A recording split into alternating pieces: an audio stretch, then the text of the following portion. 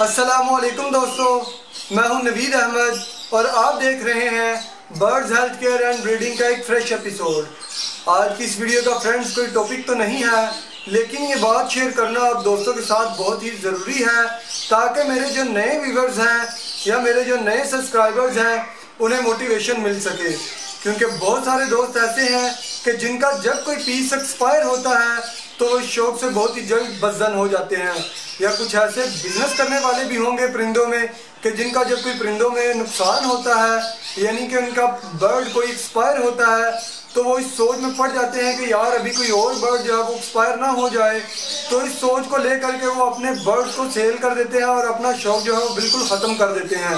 तो मैं नहीं चाहता कि मेरे किसी भी व्यूवर्स किसी भी सब्सक्राइबर का शौक जो है वो ख़राब हो या वो शौक से बजन हो। आज की इस वीडियो में यही सारी बातें आप दोस्तों से करने वाला हूँ। मुझे उम्मीद है कि आपको ये वीडियो काफ़ी पसंद आएगी। अगर आपको मेरी वीडियो पसंद आए तो मेरे चैनल को ज़रूर सब्सक्राइब कीजिए। तो चलिए शुरू करते हैं। जैसा कि फ्रेंड्स, मैंने आप दोस्तों को वीडियो शुरू होने से पहले ही कहा था कि इस वीडियो का कोई टॉपिक नहीं है। इस वीडियो में मैं आप दोस्तों को मोटिवेट करने की कोशिश करूँगा, ताकि मेरे वो भाई जो शौक में अभी नए हैं, अगर उनका कोई भी बर्ड एक्सपायर हो जाता है तो बहुत सारे दोस्त ये सोचते हैं कि यार, अभी दूसरे बर्ड भी एक्सपायर ना हो जाएँ, कहीं इनके साथ कोई मसला ना हो जाए तो वो इस डर की वजह से अपने बर्ड्स जो हैं वो सेल कर देते हैं या शौक छोड़ देते हैं।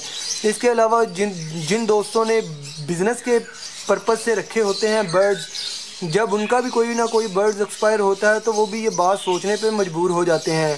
तो आप दोस्तों को ऐसा नहीं सोचना चाहिए, क्योंकि ज़िंदगी मौत तो अल्लाह ताला के हाथ में है अगर आप ऐसी छोटी छोटी बातों से घबरा जाएँगे, परेशान हो जाएँगे या अपने दिल पे ले लेंगे तो इसका कोई भी फ़ायदा नहीं होगा।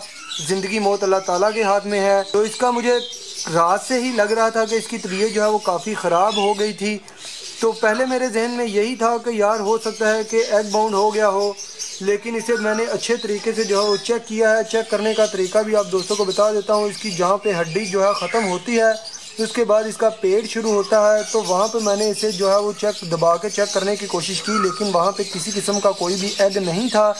तो इसका मतलब ये है कि ये एग बाउंड की वजह से नहीं एक्सपायर हुई। इसके सीने की हड्डी भी जो है बिल्कुल कवर है गोश्त इसके ऊपर अच्छा खासा था, बिल्कुल हेल्दी और एक्टिव पीस था, लेकिन फिर भी इसका जो है वो कुछ समझ में नहीं आया कि इसको क्या देना चाहिए। फौरी तौर पे इसका पोटा जो है वो पानी से भरा हुआ था और जब मैंने इसे कल पकड़ा तो इसका पोटा थोड़ा सा मुझसे दबा, जिसकी वजह से मुँह से पानी निकला और पानी भी काफ़ी जो है वो चिपचिपा था। तो मुझे तो यही लगता है कि इसकी पोट जो है वो बंद हो गई थी और इसकी क्रोप का ही मसला था कि इसको आगे जो है वो कोई भी चीज़ नहीं मिल पा रही थी, जिसकी वजह से ये पीस जो है वो एक्सपायर हो गया। ये कल उड़ भी नहीं पा रही थी।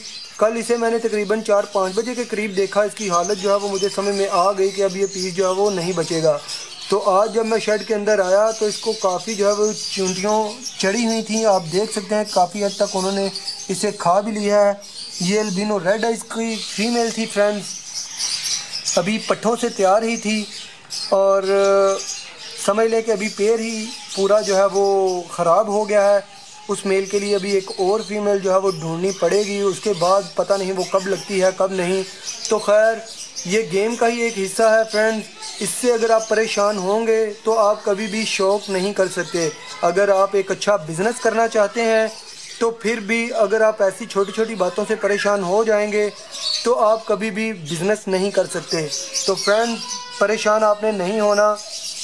पीस एक्सपायर हो हो सकता है कि अल्लाह ताला ने इसके इवज़ आपके लिए कोई बहुत ही अच्छी चीज़ जो है वो आपके लिए रखी हो, जो आपको मिलनी हो। और मैं तो यही सोचता हूँ कि जो भी होता है, अच्छे के लिए ही होता है।